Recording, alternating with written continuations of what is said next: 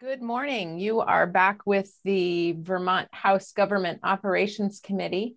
Um, we started out this morning hearing from our um, Executive Director of Racial Equity, Xusana Davis, and also from um, the H196 bill sponsor, um, uh, Kevin Christie. Thank you for joining us again, Kevin, um, from coming up the stairs from the uh, Judiciary or uh, Education Committee.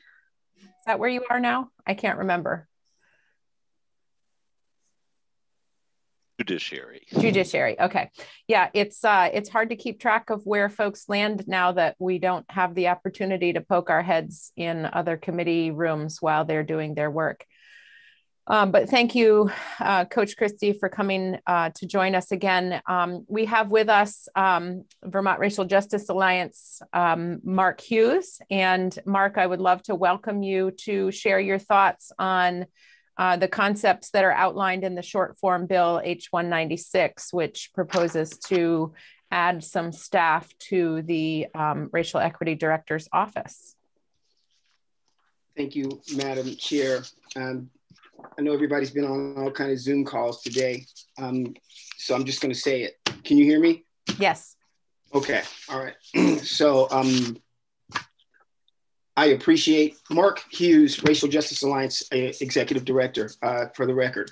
I appreciate the opportunity to come and um, and share a couple thoughts on uh, what's going on with the Racial Equity Executive Director. I'm sure you can appreciate uh, from the work of the Alliance in Justice for All in 2017.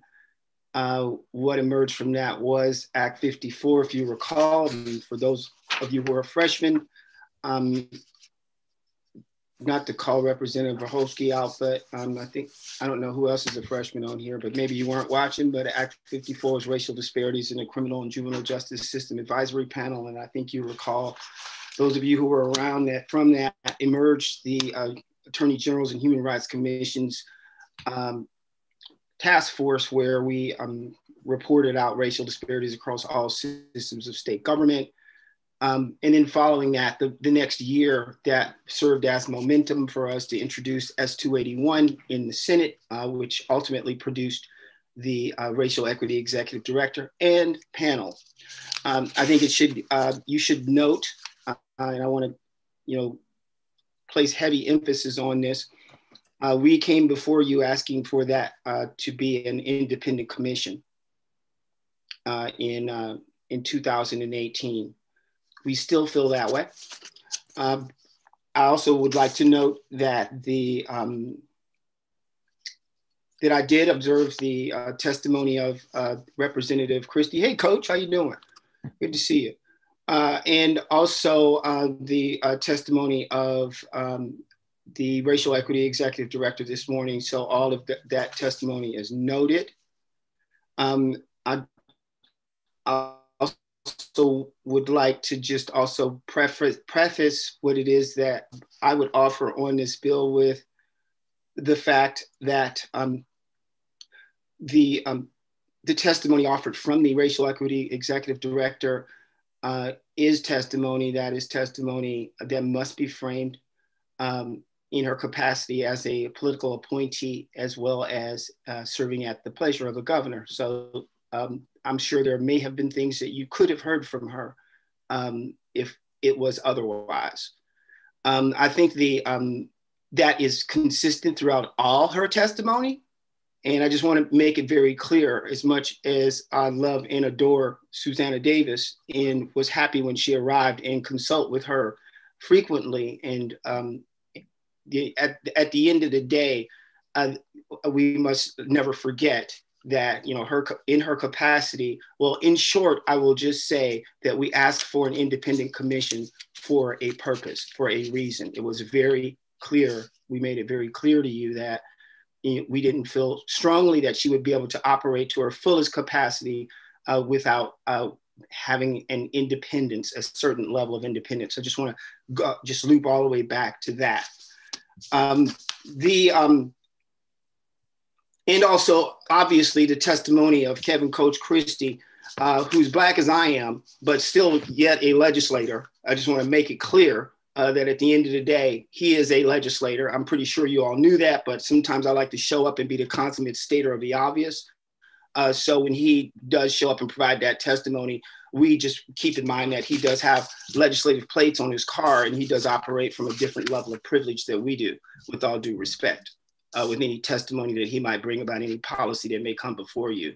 So, um, and then uh, it, just in opening, I would also uh, uh, just uh, um, just thank Andrea. I think there was some confusion in the backfield. We tried to call an audible uh, and get myself as well as some other folks from the Alliance in tomorrow.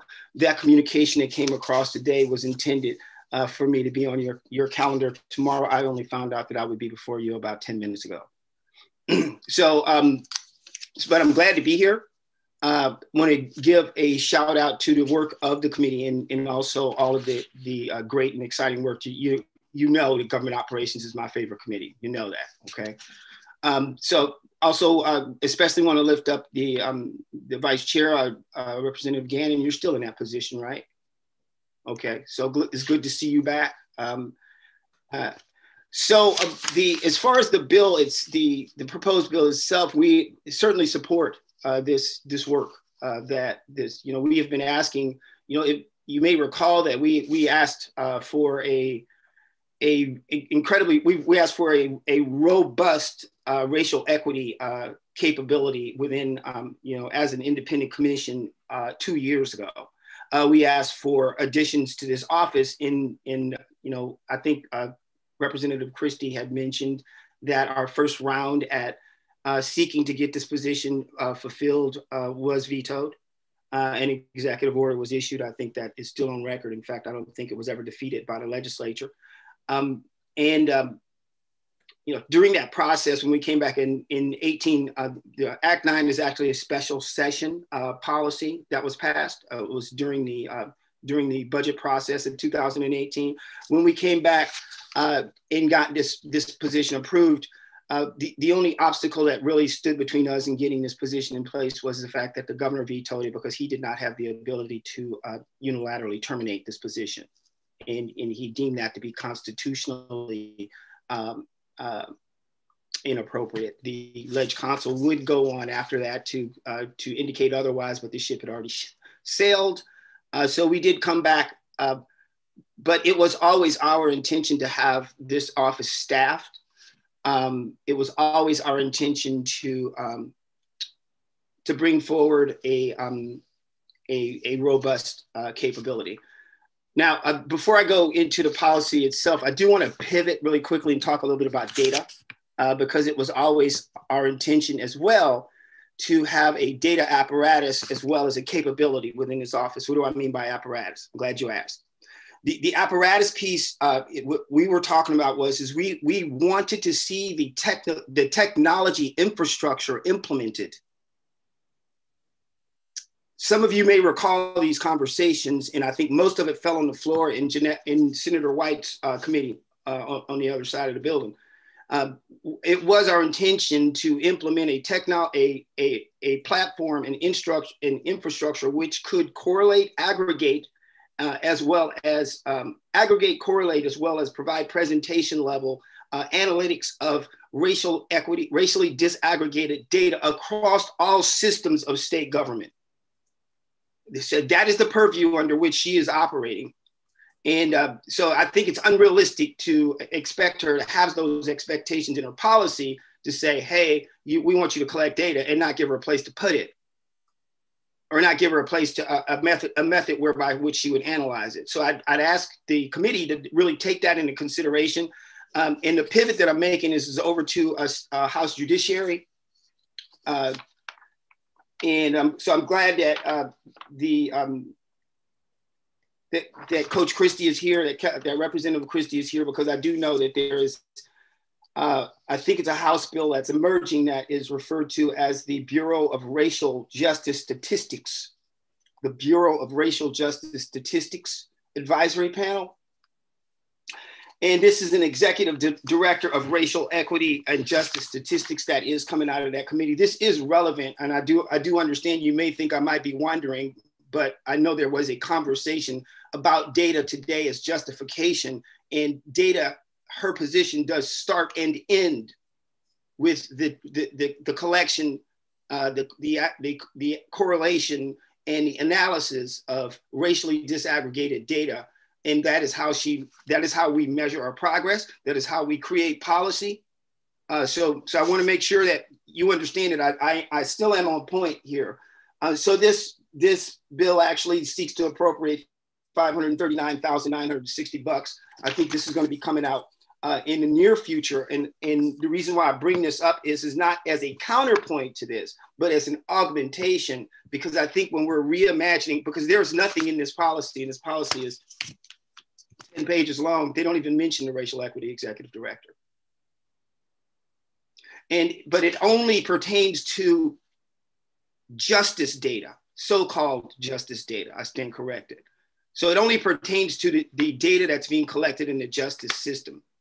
This is, um, you know, this is relevant because there's a good model here whereby which there is an individual uh, with a staff uh, who would have that responsibility and and hopefully the capability to collect these data, but to have it completely separate in a whole nother universe from the racial equity executive director is is a boondoggle at best.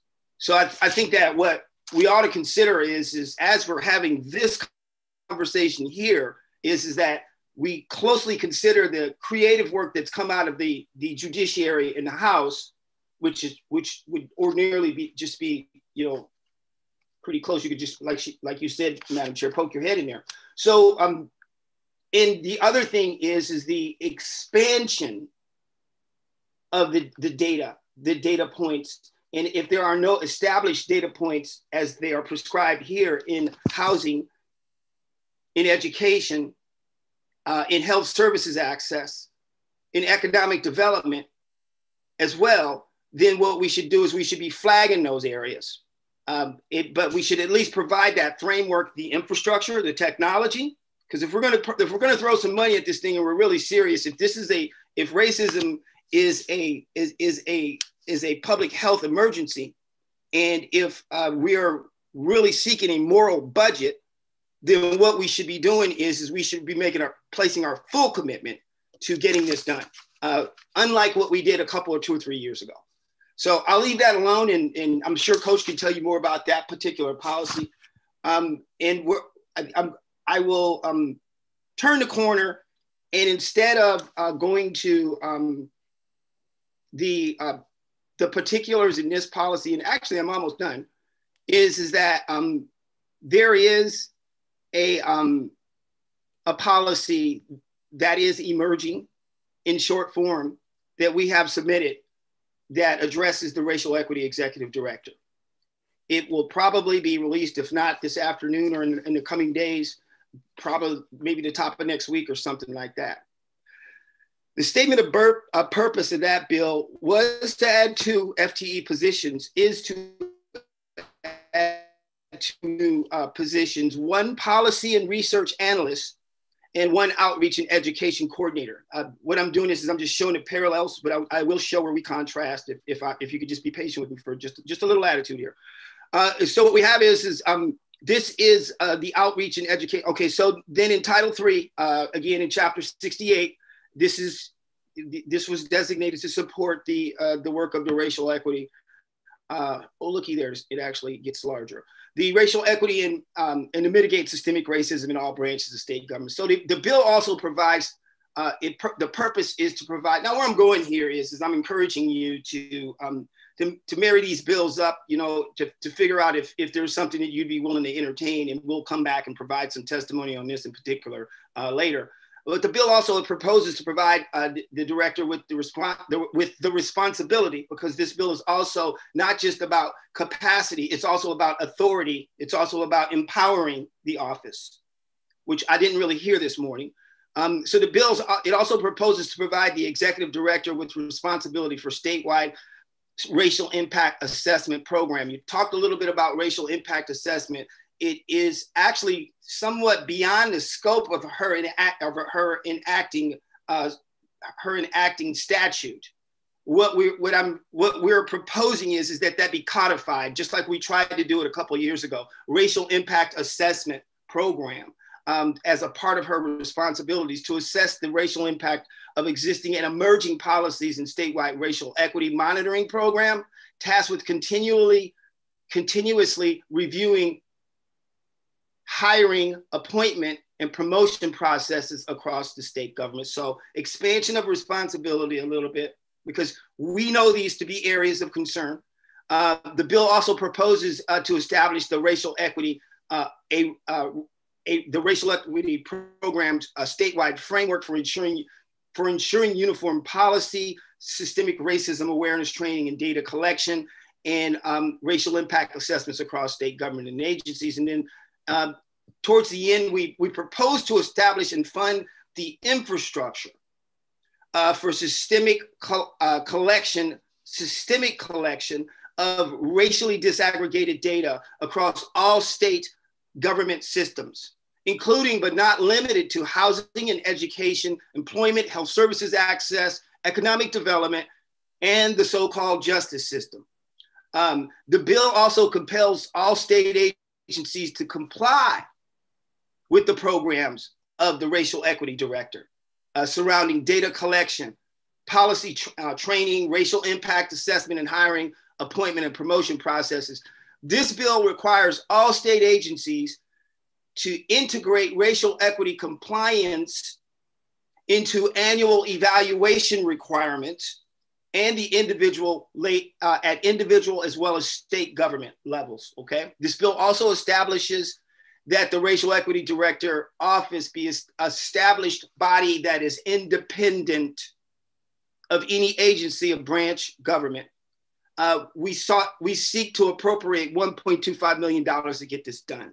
Uh, this is the technology infrastructure uh, to support. And again, these are um, these are iterative steps. Um, the, the first tranche to get a couple of FTEs on the ground, obviously, you, you're probably looking at a quarter mil. Uh, we'd, we'd be looking at another million dollars uh, to initiate, you know, the feasibility study as well as the impact assessment surrounding the technology, infrastructure, implementation, and so forth. That is going to be an elongated process, but we need to start it and we need to start it with commitment. Uh, and that will be to, uh, for the collection and the management of uh, racially uh, disaggregated data. So that is the, those are the similarities and contrasts to uh, the policy that is emerging as, as opposed to the one that's on the table before you. Um, there is a specific emphasis that I place quite intentionally uh, on the work that is emerging in judiciary. Uh, there is also a, a, specific emphasis that I placed uh, as well on the need for independence and authority uh, for this particular uh, capability. I thank you for your time. Thank you for inviting me. I would love to get some other folks out uh, from the Vermont Racial Justice Alliance uh, and others to, um, to, you know, to testify uh, before you on this matter. I'd love to also get out and talk to you more about the whole idea of a um, the, the combination of this so-called public safety uh, apparatus uh, that, that's going on as well. So thank you for your time. I'm, I'm happy to answer any questions that you have. Uh, and I'll just stop there. Thank you so much for being with us this morning. And, and I apologize for the crossed wires. Uh, we certainly can make some time to have you and, um, and, and or other folks back tomorrow to, to talk more about this. Um, I have a noon meeting that I have to jump to right now, so I'm going to leave Representative Gannon to facilitate questions. But I just want to say thank you for for coming. Um, thank you for for being uh, a voice for the, our continued focus on on these important issues. Um, and so, committee, go ahead uh, with questions. And um, Mark, I'll see you again another day. I appreciate you, Madam Chair. Any questions? Oops. Okay. Um, There's a hand. Mike first, and then um, Peter. Yeah. Any questions? Yeah, Mark. Thanks for coming in. Um, I I just wanted to say I, I, really appreciate you and the alliance. You know, trying to help us get this work right because what we're talking about with these two positions uh, here in H196, uh, it does relate to that work that's going on in judiciary, going on in healthcare, and we've got that tendency to be siloed. And so I just want to invite you to, you know, continue to give us feedback and make sure these things stay connected and that they aren't siloed so that we can do the work effectively. Um, and I, I know, you know, Representative Christie and others will be a part of that too. But um, yeah, I just want to invite you to continue to do that and say that, you know, got your email uh, as well about um, the uh, presentation that we had in the, the joint session yesterday. Um, and that we will, before we take any action there, definitely want to hear from a lot of more voices. So uh, just wanted you to know that we had heard that. Representative McCarthy, thank you uh, so much, and thank you for the, the, positive feedback and, and all the work that you're doing. I, I really appreciate you and, and uh, your voice. Great. Peter. Uh, thank you very much, uh, uh, John.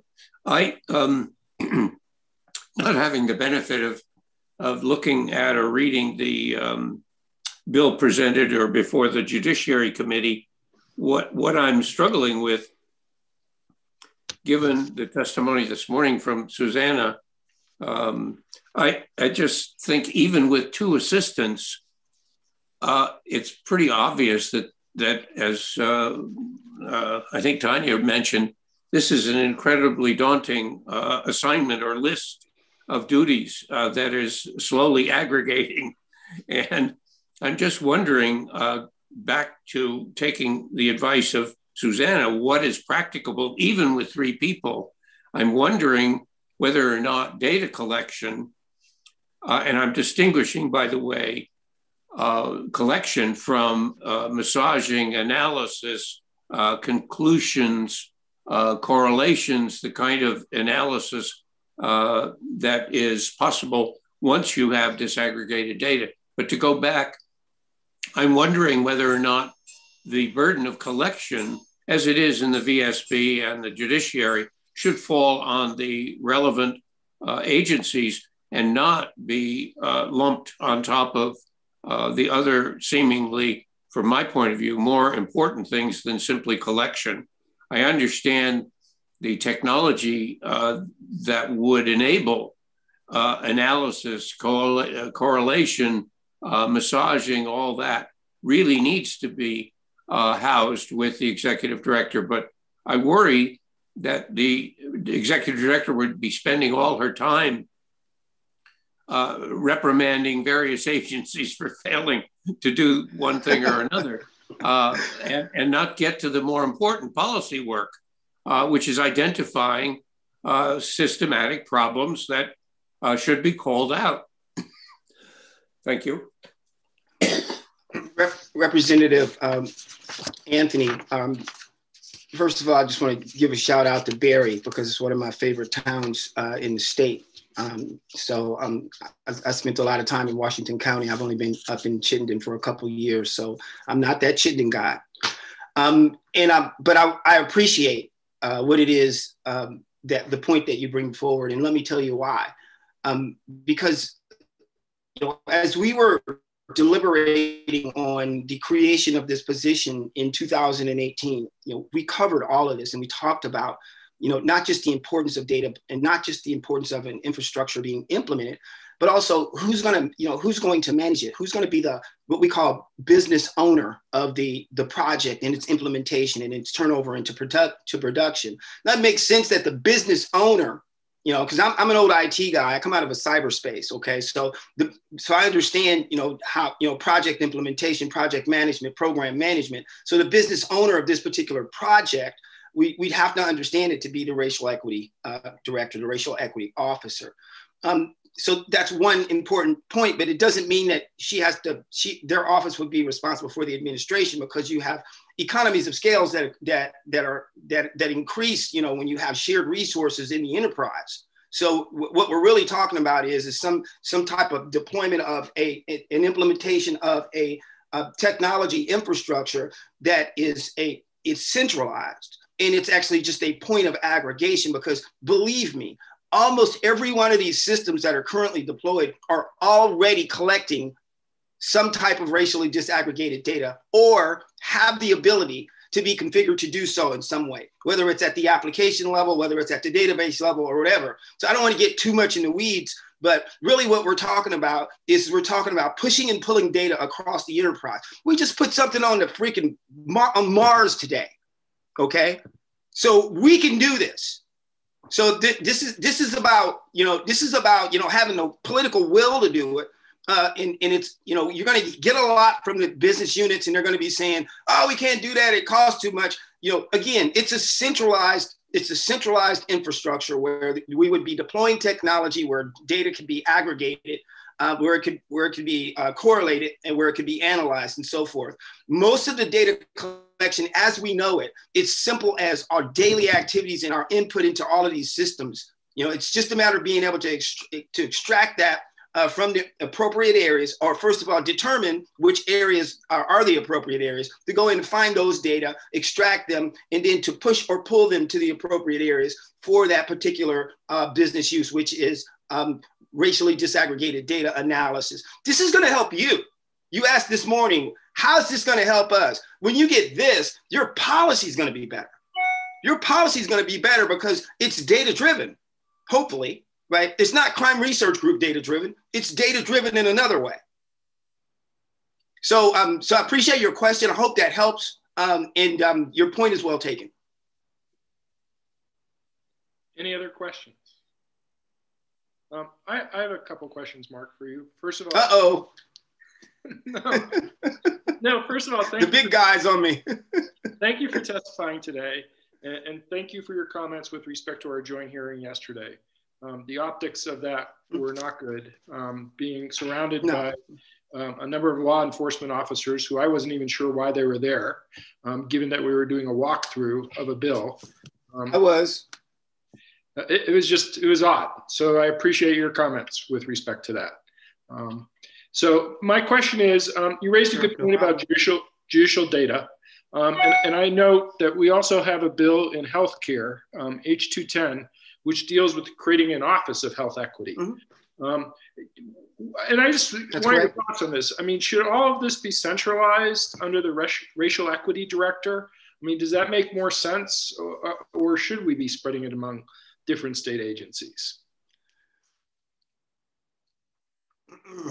I, you, you cut out right at the end, but I, I got it. I think I got your question. And um, H210 is one of ours. Uh, you're going to you're to see some some other ones emerging um, you're going to see um, racism as a, a, public health emergency, a joint resolution that's going to be probably dropping, if not today or over the next couple of days. Um, we're going to get the rest of that Freeman language out of uh, Title 24, uh, the appendix of Title 24 on all of the charters. We're going to be working on, uh, you'll see another reparations bill in your committee, uh, chattel slavery reparations bills coming back. Uh, cultural and economic empowerment, home and land ownership, uh, data, data, data and racial equity, which is what we're talking about right now, uh, public, so-called public safety, and also even, yes, Representative Gannon, the cannabis policy is coming back too for racial equity. So we're, we're doing a lot of stuff. In question is, is the um, you know, and we got some traction with Senator Sears and and uh, and, and Senator Benning and and and also uh, maybe not so much Senator Pearson, but we'll talk about that later. But that we've got some traction on that. We'll talk more about it.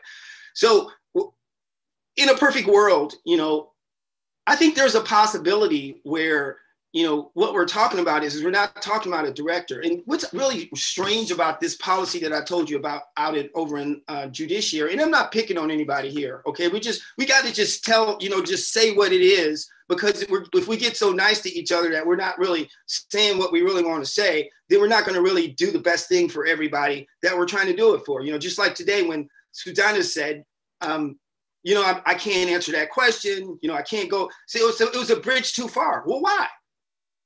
The reason why is because she is a political appointee, because she works for the governor. So she can't say that. And that is where that ends. And, I, and the reason why I bring that point up is, is because we got to see that for what it is and understand that, that we have constraints within the systems that we've designed that that are precluding us from being able to get the work done that needs to get done for the people who need it most. So that goes back to that independence. So again, you know, when you think about this structure of what this ought to really look like, you know, and this is just, let, let me just spitball for about 30 seconds, is, is I think, you know, in a perfect world, what we have is, is we've, we've got a, a, a, a, a department or an agency or, you know, a, we tried to make her a commissioner for crying out loud. Okay. So we've got a, a commission, a public safety, an independent uh, racial equity commission in these functions that are health equity related, these functions uh, that are uh, judiciary um, data related, or I should say, I don't, I don't want to just stay on data because we're talking about policy, training, data. Uh, we're talking about, you know, how we go about reviewing existing and emerging policies. We're talking about hiring, promotions, as well as appointment processes. Um, so it's the whole shebang. But as they pertain to these particular entities, these particular, what we say, we'll just call them social constructs for lack of a better term, then she could have those that capacity under her. So what we've been doing is, is just segmented by function. You are policy, you are outreach, you are training and education. But what we ought to be segmenting it by is, is these, the, the constructs that we have within our, our state government. And because that's where the, the um, just a little bit more than 30 seconds, but that's where the, the the disparities that are, are being produced, these, um, these uh, determinants that we call housing, education, employment, health service, economic development, so-called criminal justice, those disparities are being produced from those systems. So I hope I beat that into the ground enough for you. Um, but yeah, the one word answer, yeah, probably so. And I hope that the will is here in this committee this year because folks, if we can't do it now, I mean, now, today, February 18th, 2021, you know, with the last four years in our rearview mirror, in the middle of a global pandemic and a racial reckoning, which we've probably never seen before, we, and we'll probably never see again. If we can't do it now, when are we going to do it? Thank you, Mark. Um, any other questions from any members? Well, thank you very much for coming today, Mark. And I'm sure we'll you see you again. Um, I appreciate your again and everything. And again, uh, Mr. Chairman, I, I appreciate the time. Good. Thank you so much. I wish you all a great session, and thank you for the hard work that you're uh, that you guys are putting in. I really appreciate you all. You got again, you're my favorite committee.